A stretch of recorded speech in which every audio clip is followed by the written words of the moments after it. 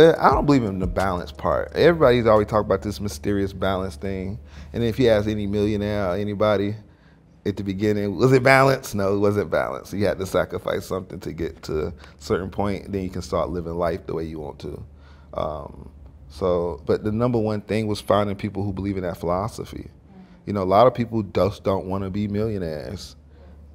Like, you know what I'm saying? Like, my, I want to be rich out the ass. You know what I'm saying? like, I want to be, you know, like free. Yeah. You know, financially yeah. free. Like, I believe in like your mind is like, it, what is it if I can dream about Africa and never go explore Africa because I can afford it? Yeah. You know what I'm saying? Like, and it's gonna be a certain point where like I seen people get old in my family, and then when they go, you know, they didn't have anything to leave for that nothing. They couldn't leave nothing.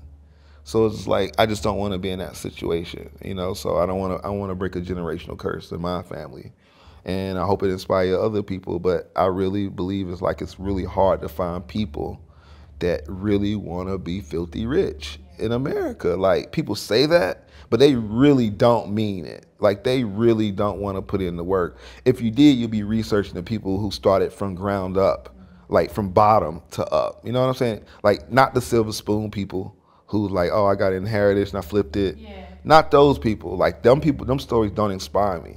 But people like Jay Z and like you know he from the price, you know he from Marcy Projects, and he came up to be a billionaire, or just a person like Kanye who's just a regular college kid. You know what I'm saying? Started from nothing. Mm-hmm.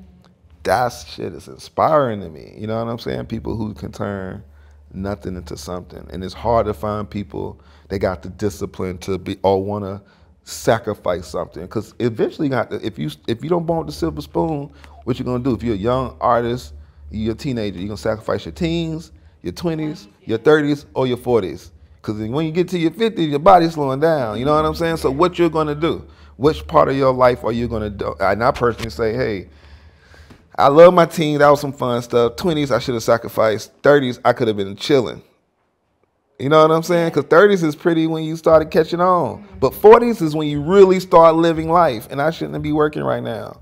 If I gave up my 20s playing around. You know what I'm saying? If I get Yeah, but now I'm at a point where like I gave up a lot of my 30s. Yeah. So so I could ride into my 40s on cruise control. But you gotta start looking at life like in tens. You know what I'm saying? Your 20s, your 30s, your 40s, your 50s. Because your hustle, a real good hustle, a business, it might take 10 years. So you got to really start thinking about that because people talk about this balance thing. Balance is for rich people. Like, be realistic. You know, like spiritual health is good, uh, uh, mental health is good, but you don't need real. I mean, like, you might take a little break, but I'm talking about like people be really be like, okay, you know, like I'm gonna work eight hours a day. Okay, try that shit if you want to. Eh, if you garner from the ground up, try. Oh, I'm gonna have this, so I can have nights free. While some, while you having fun, someone your competition is right there up, or outworking you. You know, and to the point where they outworking you, to they outsmarting you. Cause you start working a point till you start catching on. Like, okay, let me work smarter now. And once you work smarter now, and you did the footwork, everything is really on cruise control from now. Stru- the struggle aspect is mo- no longer there. You know what I'm saying? Now it's about just you struggling to make your dreams come true. But bill struggles and money struggles, them, them gone. But you gotta sacrifice at least teens, twenties, because I really believe in thirties you started kind of understanding who you are, and for, late thirties you start living life, In forties you should be able to just be. Yeah, you should be able to be like cruise control. So, so 50s, you can retire and sit out. My name is Miya Bailey. You're at Peter Street Station and watch my black owned interview right now.